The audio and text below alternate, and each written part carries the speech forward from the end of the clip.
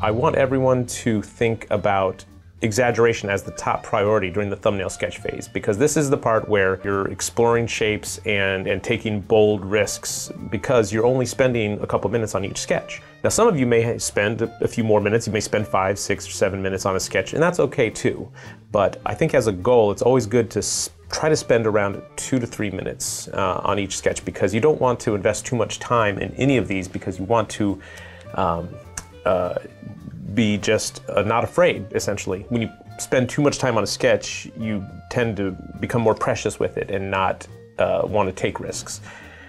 Okay, and here we have some uh, sketches by Tristan Noah of uh, the artist Drake, and uh, I think they're pretty funny. I like what's going on in them. There's a couple that are pretty successful, and I like what's going on with the nose, with the head shape in general, and uh, you know, you're exploring the shapes around a particular theme they're not too diverse, so that's one area where you could improve probably is, again, exploring more different head shapes than what you did.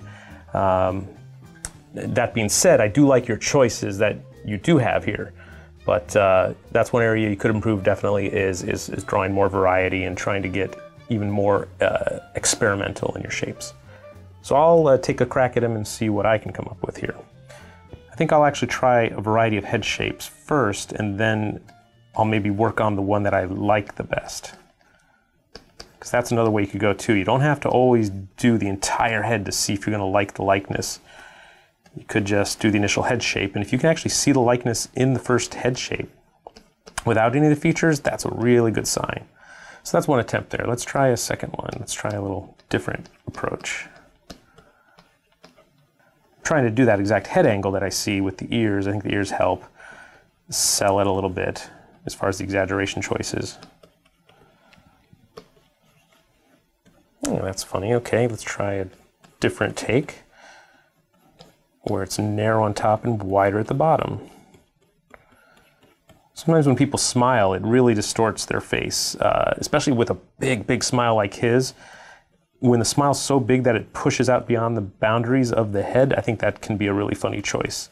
So keep that in mind for smiling photos. That can really work to your benefit. Okay, let's try even shorter head shape up here. Really want to press home the, the super, super importance of, of variety and exploring multiple head shapes. Don't just get hooked on a single one that seems successful on your first attempt. You got to just keep on pushing and try new shapes because you're never going to know what will work until you try.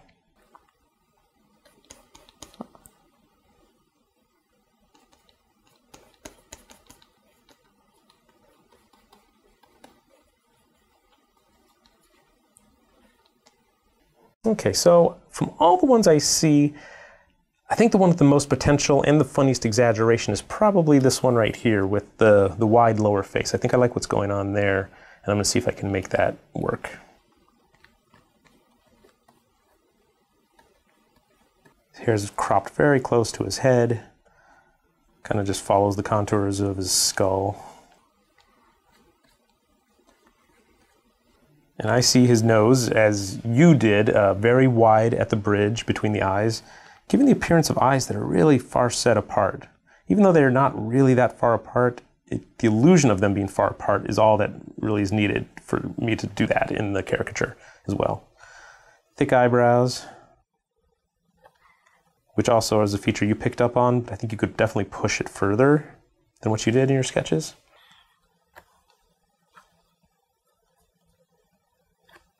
Very happy face. In fact, I'm going to erase the bottom lids here to make the eyes even more closed than I originally drew them. Because he's really squinting his eyes because of his big smile. You can tell it's a very natural, organic smile. He's not faking it here. Or if he is faking it, he's very good at faking it. uh, but when we smile, we naturally sort of uh, close down our eyes if it's a really big, happy smile.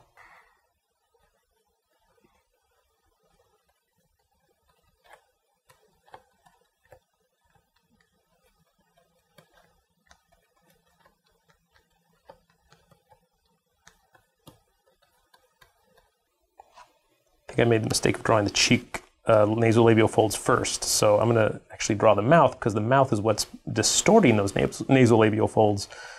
And uh, I don't want to box myself in by drawing them in the wrong place. Let me draw the more important feature first of the mouth. And the mouth has a definite shape to the smile. I think in yours you just made a general smile. You didn't quite capture the shapes that are going on in his smile, where the lower lip sort of uh, gets narrower at the bottom here, around the lower teeth. And also, there's quite a big uh, gap where his dental arch ends, and the inside of his cheeks are visible here in the, in the black shadows especially with a really wide smile, you want to make sure you capture this dark shadow shape. You didn't really do that in any of yours because uh, it really it'll show an extremely distorted mouth. It'll show how wide it is, that it's it's so wide that it's breaking the bounds of the skull. Now I can draw those nasolabial folds in. Lower lip here.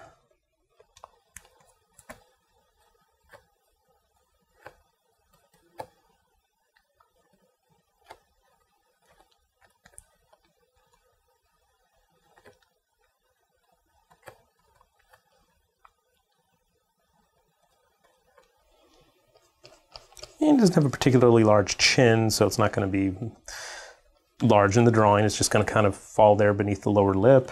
In fact, if it's a little bit more diminished and small, it's going to make the other features on his face look even larger. He's got some uh, heavy stubble going on here, so I'll shade in his lower face just a bit.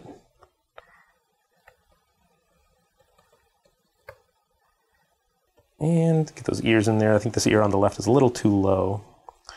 Raise that up. It's not super important for the anatomy to be correct at this point, but I wanted it to be a little more correct than that to help show the angle and tilt of the head.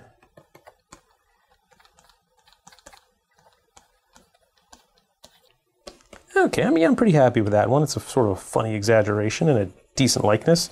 I think it could definitely be pushed uh, and taken to the next level and uh, refined into a more finished caricature. So that's about it for now. I hope you enjoyed uh, watching my process, uh, thinking about what you guys are doing.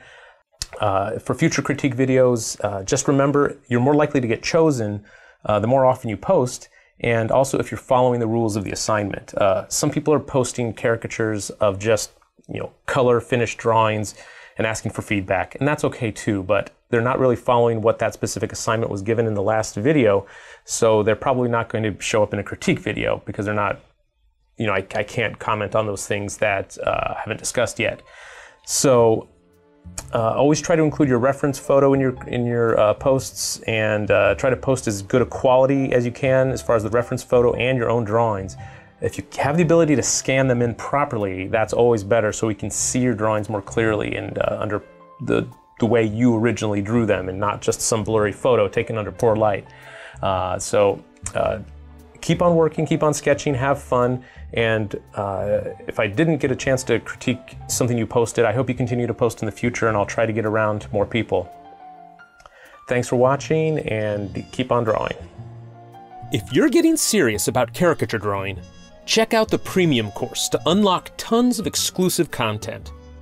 This week, there are lots more critiques you can watch where I give different students advice on how to solve their own unique problems. Maybe you share some of their same struggles. Get the full course at proko.com slash caricature. If you enjoyed this video, share it and tell your friends. And if you want to get updates on new videos, go to proko.com and subscribe to the newsletter.